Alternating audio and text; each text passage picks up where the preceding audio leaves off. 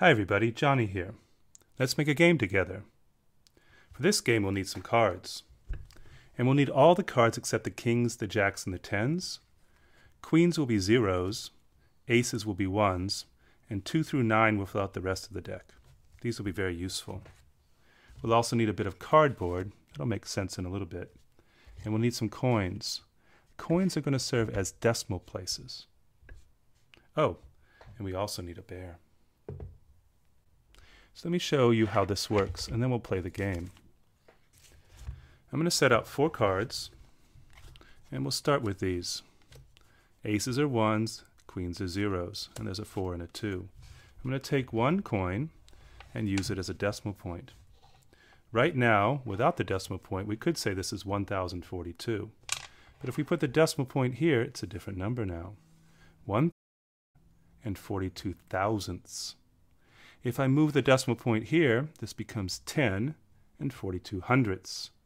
If I move the decimal point here, this is 104 and 2 tenths. We're only going to use the decimal point in these three places. Now how the game works is that there will be players, and there could be more than two players, but for today, we're going to have Ted, and we'll have his friend Vero. And they're going to be playing the decimal game. Ted is going to deal out four cards a six, a two, an eight, and a queen, which is a zero. Now, what Ted's going to do is find in this deck the same numbers and give those to Vero. So, queen, a six, an 8, and a 2. Now Ted is going to construct a number with these four cards and using the decimal point, and Vero is going to try to make the same number through good guesses. So Ted is going to take these cards and the decimal point and think about them for a minute about what should be made with them. Ted will also make a blind. So I'm using this cardboard here. And I'm going to fold it in half like this. And you can do the same for yourself. And then Vero's going to not see what Ted is guessing. So this looks good right here. I'm going to turn it like this. And now Ted is going to construct a number. Now using these, Ted can mix them up in any way Ted wants to. And Ted is deciding to make this number. Right now it's just an 8, a 0, a 2, and a 6.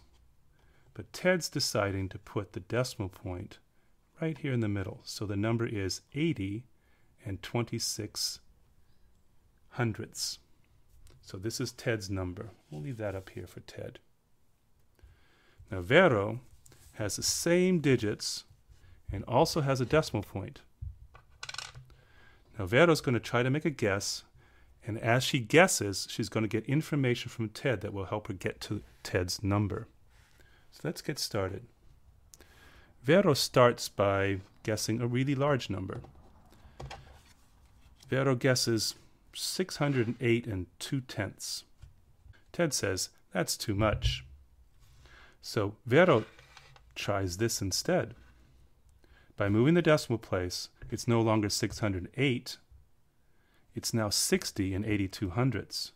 And Vero says 60, 82 hundredths, and Ted says, that's too small. So now Vero has to organize the cards and the decimal point to make a better number. So 680 was too much and 60 is too small. So Vero decides to make 608 and 2 tenths. And Ted says, that's still too large.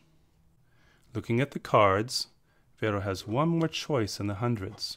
This is the smallest hundreds she might make. Well, maybe. This is 602 and 8 tenths, and Ted says that's still too much. So Vero decides to change the 2 and the 6 to make a smaller version of the hundreds. And Vero says 206 and 8 tenths, and Ted says that's still too much. Now this is the smallest hundreds that Vero can make. So Vero knows now that the decimal point is going to have to go here.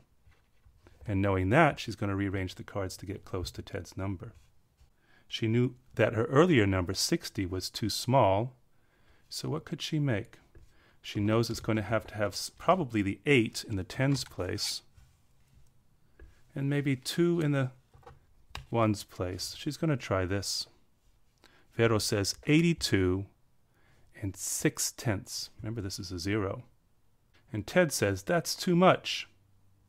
Well, what else could be made? Vero tries again with the, with the 80.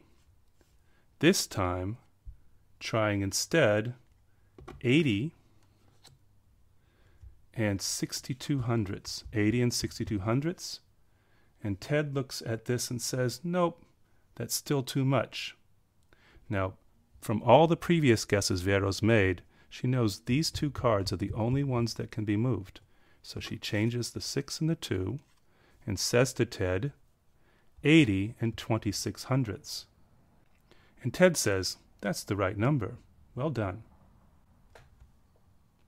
Now it's Vero's turn to hide the number and Ted's turn to guess. This is the decimal game, and what you need for this game are cards. Remember, aces are ones and queens are zeros, and twos through nines as well. Some kind of coin for a decimal point. You'll need cardboard to make a blind, and you'll need a friend. And what else will you need? Oh, you'll need a bear. Hope you enjoy this game.